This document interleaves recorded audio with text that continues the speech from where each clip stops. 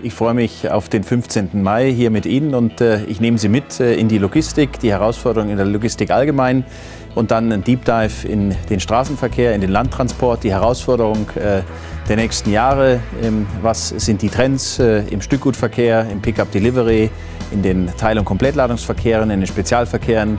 Ähm, wie sieht der Markt aus? Was sind die Trends der einzelnen Industrien? Was ist die Herausforderung für unser Unternehmen Kühn und Nagel? Ich nehme Sie auch mit auf unsere Strategie und lade Sie dann gerne ein, mit mir das Thema Logistik, speziell Landfracht, äh, zu diskutieren und uns auszutauschen.